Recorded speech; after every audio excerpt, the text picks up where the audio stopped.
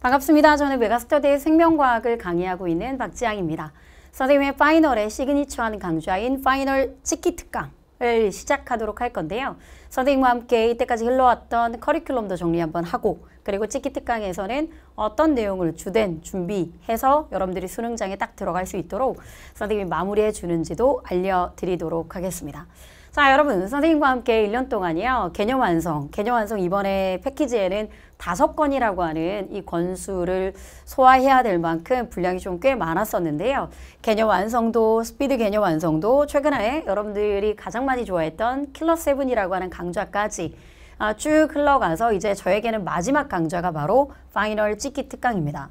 선생님에게는 파이널 시즌제 모의고사도 있죠. 시즌 1, 2, 3, 4라고 얘기해서 얼마 전에 시즌 4까지 개강을 했는데요. 이렇게 모의고사로 여러분들이 마무리를 하다 보면 아마도 나는 이제 어떤 부분에 대해서 개념이 비어져 있는지가 눈에 딱 드러나는 순간이 지금쯤이 됩니다.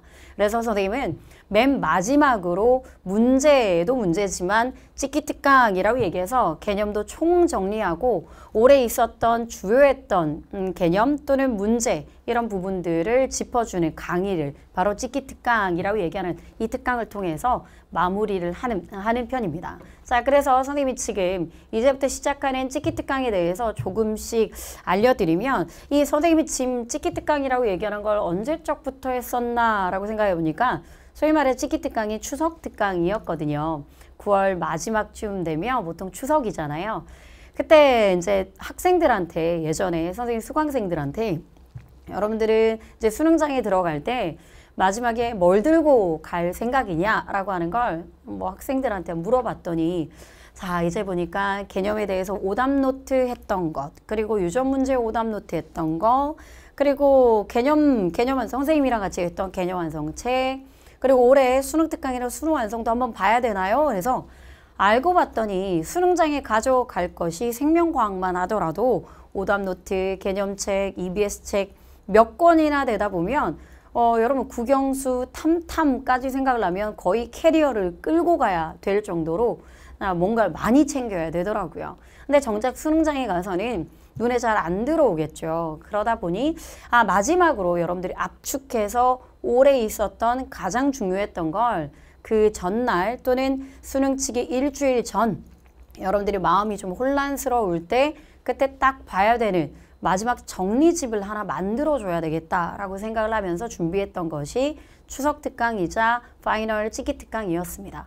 그래서 지금 여러분들 옆에 찍기 특강에는 무엇을 하나 봤더니 올해 있었던 6월 평가원, 9월 평가원 그리고 올해 있던 수능 특강과 수능 완성에서 자 눈에 띄는 문제들 그리고 여러분들 꼭 봐야 되는 개념들 이런 것들을 정리정돈하는 시간이라고 생각을 하면 돼요.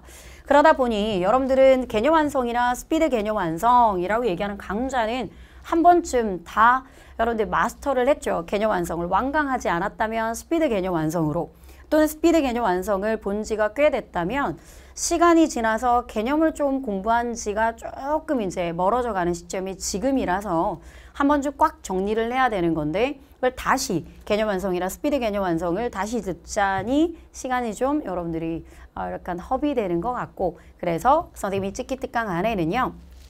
신경계나 호르몬이나 방어 신경계 호르몬 방어에서 정확하게 6월 평가원이랑 우리의 9월 평가원에 눈여겨봐야 될 개념들을 같이 정리하고 유평, 구평의 문제도 같이 한번 보면서 수능 특강이랑 수능 완성에서 올해 유독 작년에 비해서 주된 자료 분석형의 문제들이 분명히 있을 겁니다. 그래서 그에 관련되어 있던 신경계 호르몬 방어와 관련되어 있는 자료 분석형 문제도 같이 살펴보는 거고요. 뿐만 아니라 비유전압의 흥분의 전도랑 근육을 빼놓을 수가 없는 거겠죠. 그래서 흥분의 전도, 근육 문제 6월 평가원, 9월 평가원을 분석하면서 수특 수완에 나왔던 아주 중요했던 문제도 같이 함께 풀어보는 것이라고 생각을 하시면 돼요. 마지막으로 유전이라고 얘기한다면 물론 여러분 파이널 찍기 특강에서는 유전의 난이도가 높지 않습니다. 자, 파이널 찍기 특강에서는 마지막으로 기본 자, 기본에 충실해서 만약 올해 킬러 문항이 세 문항, 이 세 문항이 완벽하게 어렵다. 그리고 여러분들이 진짜 완전 손도 대지 못할 정도로 어려운 문제가 나왔다 라고 한다 할지라도 비유전의 14문제랑 나머지 세포주기 3문제는 그렇다면 나는 이 비유전의 14문제랑 세포주기 3문제는 준비가 완벽히 되어 있는가? 라고 하는 걸 선생님이 자, 여러분들한테 체크해 보렴 하는 시간이기 때문에 자 유전에서 주되게 다루는 거 역시나 6월 평가안이랑 9월 평가안에서 세포주기에서 나왔던 그 문제들, 그 문제들이 스툭하고 수완 문제 안에서 어떤 문제가 유사했고 스툭 수완 문제 안에서 이 문제만큼은 꼭 봐야 된다라고 얘기하는 세포 주기의 관점으로 자 여러분들에게 수완의 문제, 문제도 짚어주고 같이 풀어보는 시간이라고 생각하시면 돼요. 물론 여러분 선생님이 유전병 문제나 또는 가계도 문제를 안 해주는 건 아니고요. 6월 평가 아니라 9월 평가에 나왔던 문제를 복습시켜준다라고 생각을 하시면 됩니다. 그래서 세포주기 문제는 전 세포주기의 마지막 한 문제가 세포주기 세 문제를 완벽하게 맞지 않고 1등급은 절대 될 수 없다라고 생각하는 주장을 하고 있거든요. 그러다 보니 6월 평가원, 9월 평가원, 수특 수안에서는 가장 중요했던 세포주기 문제까지를 같이 쫙 하고 난이도 높게까지 한번 풀어보고요.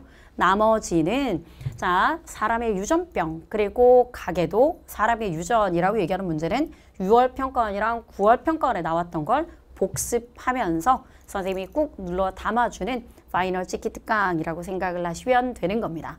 자 이렇게까지 해서 올해 나왔던 올해 수능 문제를 통해서 나올 수 있는 네 가지의 주된 카드 육평, 구평, 수특 수완은 선생님의 파이널 찍기 특강을 통해 완벽하게 마무리하기를 바랍니다.